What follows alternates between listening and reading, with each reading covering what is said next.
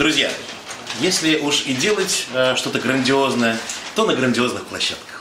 Татнефть-арена, думаю, это именно та площадка, на которой нужно проводить такого рода замечательные события, как концерты группы «Руки вверх». Думаю, это не последний наш концерт, хоть это и вторая наша встреча, но, думаю, не последний. В следующий раз обязуюсь провести целых два концерта подряд.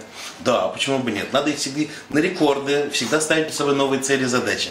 Я думаю, так же поступает и сама арена, и все время будет радовать вас чем-нибудь интересным. Не только спортом, но и большими развлечениями. Удачи и до встречи через год.